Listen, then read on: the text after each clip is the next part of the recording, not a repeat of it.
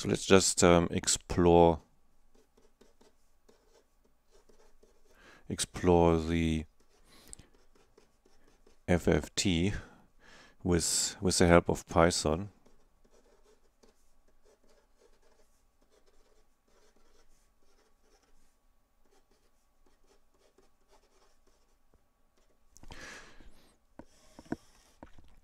So let's just do it um, in a very simple way first, just to get a feel for the for the uh, for the Fourier transform or, or discrete for um, discrete Fourier transform. So let's create an array, and so something like seven minus nine, six, and then let's say minus minus two, and um, let's say ten. It's the last one. Really doesn't matter. So we've got five samples and um, so what so what do we expect from um, from the Fourier transform here?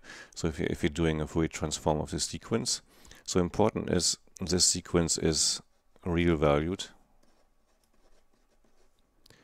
So what most of the sequences are when you're measuring something, it will be always just real numbers. And so so this means because it's real valued, then the then the resulting Fourier transform or Fourier spectrum is complex conjugate.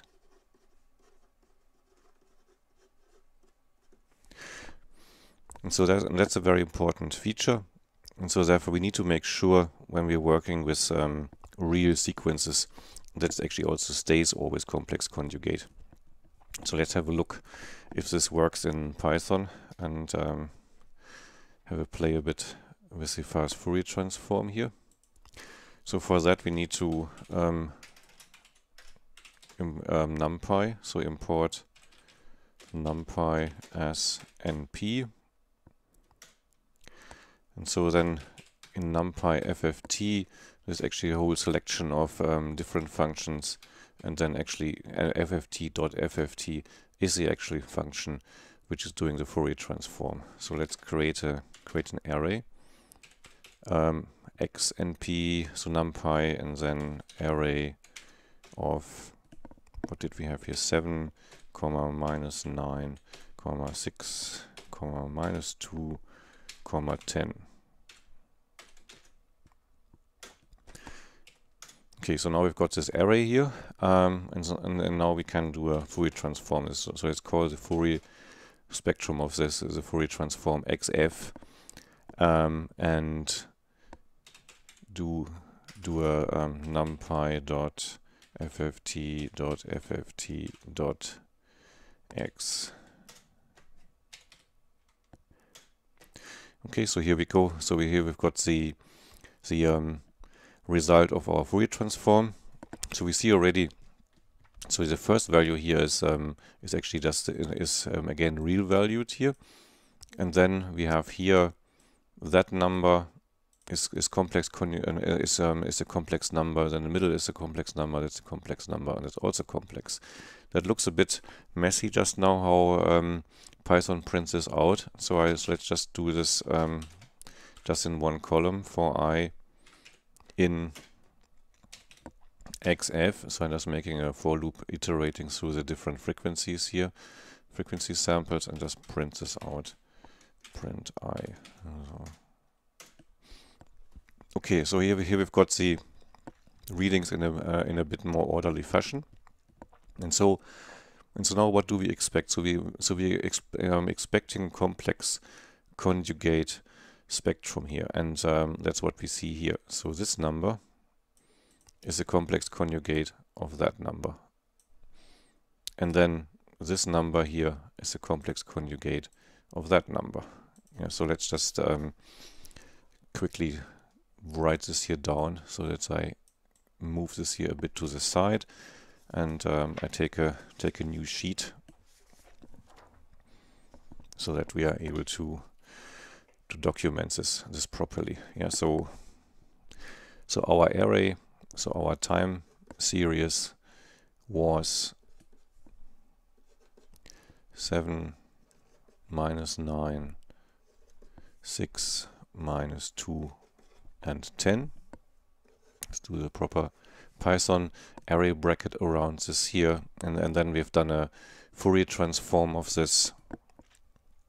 So we've done um, our x xf is then numpy fft dot fft of of x here. Okay, so so that one we um, we generated these these numbers here, and so we see now that um, xf of 0 here is is 12 so a real number. So so where does it does it come from?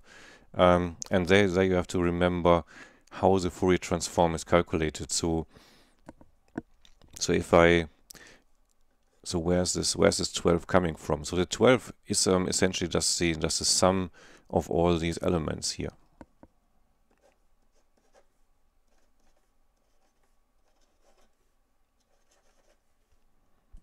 of all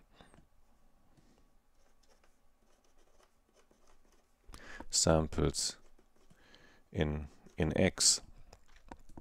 So do we believe that? Um, so that's very simple to to check because Python has a has a simple simple function for that. So let's see. So here we have got a 12. So how do we get get also um, out of this here? So we just ask Python to do the sum of x. So we've got here the x here and and that's 12 yeah and so therefore that that works so if we look at the um, Fourier transform formula it's very easy to see that this creates you the sum just of the of the elements. So the first one is just the sum basically of all samples. And so then then we have here um, the other the other frequencies. So then so then then we see we've got complex conjugate numbers. So sorry not one zero that's one. Yeah so x x of one that is um, the same the same here as um, so that's x of 1 here. And then this this is here the same as that one here. Yeah so so that's here in this case here 0 1 2 3 4 yeah so that's so square brackets to stay in the Python notation. So it's x of 4 and then we've got here the and I've forgotten the complex conjugate, and that's um, then x of 2. So x of 2 is that one here, so 0, 1, 2, and that's identical, um, sorry, not identical, the complex conjugate of um, x of 3, xf.